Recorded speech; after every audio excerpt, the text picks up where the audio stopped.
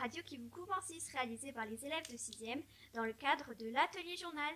Je suis Louise, la présentatrice de cette émission, et aujourd'hui j'ai l'honneur de vous présenter nos journalistes Magdalena, Léa, Amalric, Bastien et Joseph. Nous commençons par la rubrique Actualité à l'IFS.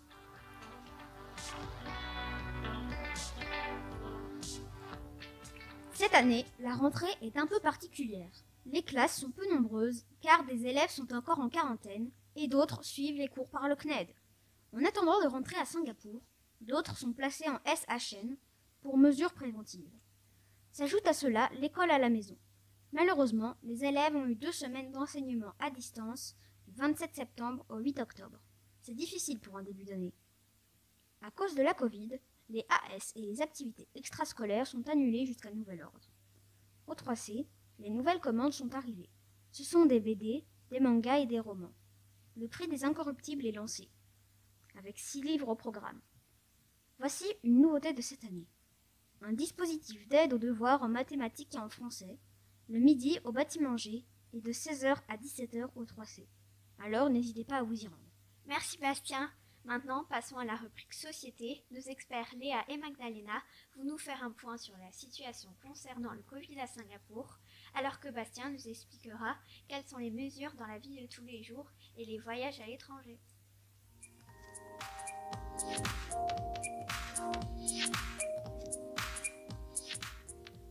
Pour être précis, Singapour est le 114e pays du monde pour le nombre de cas. Bonjour Léa, pouvez-vous nous expliquer l'évolution de la situation à Singapour, en particulier pour le nombre de cas et de décès? Bonjour Amalric, merci de m'avoir invité. D'après mes informations, depuis le début de l'épidémie en janvier 2020, il y a 132 000 cas confirmés de Covid-19 à Singapour et 183 morts en octobre. Les cas explosent depuis. Et concernant le nombre de vaccinés il y a environ 8 millions de doses qui ont été enregistrées depuis le 26 août 2021. 83% de personnes ont eu leur première dose et 80% de personnes sont toutes vaccinées. Et quant aux mesures et règles dans la vie de tous les jours Bonjour Amalric. Ici, à Singapour, les gestes barrières sont stricts. Le port du masque est obligatoire pour tous. Il faut se laver les mains, au moins trois fois par jour. Il faut tousser dans son coude. Qu'en est-il de la possibilité de voyager à l'étranger pour les résidents de Singapour? Ce mardi 21 septembre, le ministère du Commerce à Singapour a annoncé l'ouverture d'une bulle de circulation dédiée à un nombre limité de voyageurs d'affaires ou d'officiels. Cette possibilité existait déjà avec l'Allemagne, la Chine et l'Indonésie. Mais désormais, elle est étendue à tous. Les voyageurs vaccinés en provenance de France pourront effectuer une quarantaine de 14 jours à domicile une fois arrivés à Singapour à condition d'avoir passé les 21 derniers jours en France avant l'arrivée à Singapour. Néanmoins, à partir du 19 octobre 2021, il n'y a plus de quarantaine pour tous les voyageurs venant de France sur un vol VTL. Merci beaucoup à, à tous nos invités pour ces informations précieuses sur le Covid à Singapour. Espérons que la situation s'améliore. Maintenant, passons à la rubrique Histoire, où nous accueillerons l'éminente Jennifer Raff et le très célèbre Antoine Lourdeau.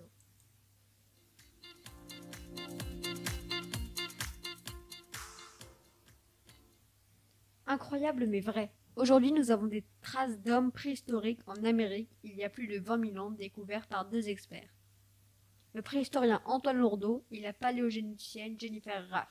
Ce sont des petites traces de pas au Nouveau-Mexique. Il y a eu récemment plusieurs découvertes sur l'ensemble du continent américain. Bonjour Jennifer Raff, merci d'être parmi nous. Nous sommes de grands fans. Nous aimerions vous poser quelques questions. Quand les Homo sapiens ont-ils foulé pour la première fois le continent? Et qui était le premier Américain? Bonjour, c'est moi qui vous remercie pour cette invitation. Nous avons des traces de pas datant d'il y a 23 000 ans en Amérique, dans un ancien lac asséché. Et comment avez-vous pu dater ces traces préhistoriques? Pour connaître le siècle où les hommes préhistoriques ont peuplé l'Amérique, nous avons utilisé une plante marine pour évaluer l'âge des traces de pas laissées par les hommes qui sont passés dans ce lac. Bonjour Monsieur Lourdeau, nous sommes ravis également de votre présence. Pourriez-vous nous donner quelques précisions sur ce qu'on a trouvé dans la grotte de Chiquihuiti au Mexique? Bonjour, c'est aussi un honneur pour moi d'être ici. nous avons trouvé des milliers d'éclats provenant de pointes de silex datées d'il y a au moins 20 000 ans. Et quelles sont vos hypothèses sur la façon dont l'Homo sapiens serait-il arrivé jusqu'au Chili? Il est probable que l'Homo sapiens soit arrivé au Chili par cabotage le long de la côte pacifique. C'est-à-dire qu'il aurait longé la côte par bateau progressivement de l'Alaska jusqu'au sud du continent. Encore merci à nos deux experts pour cet éclairage scientifique fort intéressant. Nous passons maintenant à l'interview et accueillons maintenant Magdalena, Louise et Joseph qui vont nous parler de leur arrivée à Singapour. D'où venez-vous en France, Joseph? Je viens de Paris, de Neuilly plus précisément. J'étais à l'école Madeleine Michelis. Et toi, Magdalena? Je viens de Toulouse. Et Louise Je viens du Gers. Comment avez-vous vécu la quarantaine à votre arrivée à Singapour? La quarantaine est dure, très dure, car très ennuyante. Mais au final, si vous avez un balcon et que la nourriture est plutôt acceptable, vous pouvez vous en sortir. Au quatorzième jour, vous n'en pouvez plus. Pour ma part, j'ai assez bien vécu la quatorzaine. J'étais à l'hôtel Marriott, mais je n'ai pas vraiment aimé la nourriture et j'avais du mal à m'endormir. Quant à moi, j'ai bien vécu la quarantaine. C'était bien, mais je me suis ennuyée. La nourriture était bonne. Comment s'est passée votre rentrée à l'IFS Pour moi qui ai vécu en France puis en Argentine, je n'avais jamais vu une école aussi grande que l'IFS avec ses sept bâtiments, le terrain de foot et la piscine. Je ne me suis pas encore perdue, mais je pense que cela va bientôt se passer. Ma rentrée était sympa, j'adorais la visite. Ce qui m'a peut-être le plus attiré, c'est la piscine et le mur d'escalade. J'adore ce deux sports. Ma rentrée s'est bien passée, c'est juste que je ne voyais pas l'école aussi grande. Quels sont, d'après vous, les principaux changements par rapport à votre vie en France? Les changements sont nombreux. La langue déjà, la sécurité est beaucoup plus importante ici et la chaleur est accablante. Le changement principal, c'est le climat, qui est très différent entre la France et Singapour. Pour moi, Toulouse, c'est une grande ville, mais Singapour est encore plus grand. L'école commence bien plus tôt et tous les soirs de l'année, on peut manger dehors, sauf s'il pleut trop. Non, pas trop, il n'y a pas eu de gros changements. Sauf le climat, il, a fait, il fait très chaud à Singapour. Et c'était la rubrique interview, et maintenant on passe à la rubrique culture avec Léa.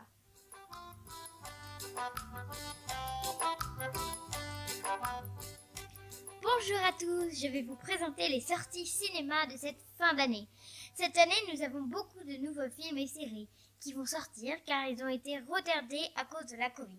D'abord, commençons par le tant attendu Cruella de Tony McNamara et Dana Fox avec Emma Stone. Vous connaissez tous ce célèbre personnage tiré du roman Les 101 Dalmatiens de Dodie Smith. Le film raconte l'histoire de la jeune orpheline. Et c'est là qui veut devenir créatrice de mode. Elle sera impitoyable. Les critiques sont plutôt positives. Et toi, Qu'en penses-tu? Nous avons aussi des sorties concernant les séries. La nouvelle saison de Babysitter est sortie le 11 octobre sur Netflix. C'est l'histoire de plusieurs copines qui créent le club de Babysitter. C'est plutôt une série qui plaît aux adolescentes. Et nous avons aussi le nouveau James Bond et le dernier avec Daniel Craig. Je pense que vous allez adorer toutes ces nouvelles sorties. Merci beaucoup, je pense que ces informations vont réjouir nos auditeurs. On passe tout de suite à la rubrique sport.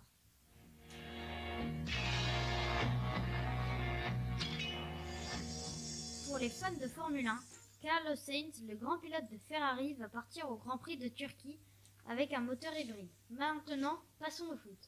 Après s'être imposée dans les dernières secondes en demi-finale, la France a finalement remporté le trophée contre l'Espagne avec un magnifique but de Karim Benzema. Le 3 octobre dernier, Bernard Tapie nous a quittés. On retiendra qu'il a mené l'Olympique de Marseille au sommet de l'Europe en gagnant la Ligue des Champions alors qu'il était président du club. Merci beaucoup pour cette rubrique et maintenant passons à la rubrique livre avec Magdalena.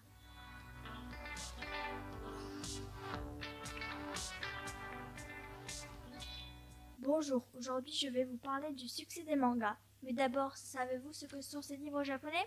Le mot manga veut dire en japonais dessin non abouti. Il a des caractéristiques spéciales. Le manga est en noir et blanc et il se lit de droite à gauche. Il existe trois sortes de mangas. Le shonen, qui s'adresse davantage aux garçons et qui parle d'amitié et de dépassement de soi.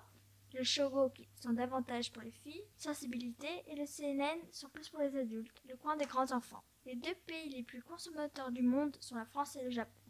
La plupart des mangas s'accommodent d'un style élaboré au Japon à la fin du XIXe siècle, tandis que la forme a une longue préhistoire dans l'art japonais antérieur. En japonais, manga se prononce comme en français avec un léger accent. Les mangas ont beaucoup de succès grâce à leur lecture rapide. Dans les années 80, ils commencent à avoir beaucoup de succès.